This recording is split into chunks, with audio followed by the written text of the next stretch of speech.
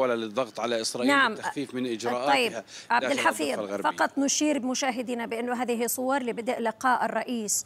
اللقاء الفرنسي إيمانويل ماكرون مع الرئيس الإسرائيلي اذا هذه في خضم طبعا الزيارة الرئيس ماكرون إلى إسرائيل وطبعا يتزامن مع ذلك تصريحات من جانب الجيش الإسرائيلي الذي يقول بأن هناك وتيرة يقول استهدف خمسة خلايا تابعة لحزب الله على الحدود مع لبنان وأيضا يقول الجيش الإسرائيلي بأن وتيرة القصف من قطاع غزة انخفضت لكن لن نتهاون.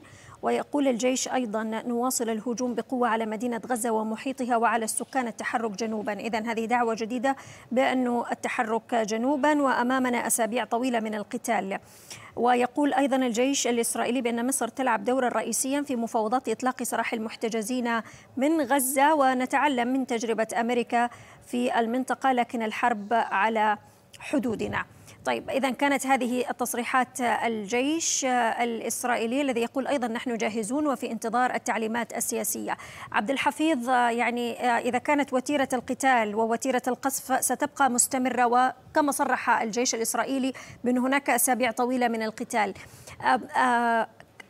كيف يمكن أن ننظر إلى التحركات السياسية من جانب السلطة الفلسطينية في محاولات لاحتواء الوضع على الأقل لأنه شهدنا في الأيام الماضية كانت هناك أيضا انتفاضة على السلطة داخل الضفة الغربية.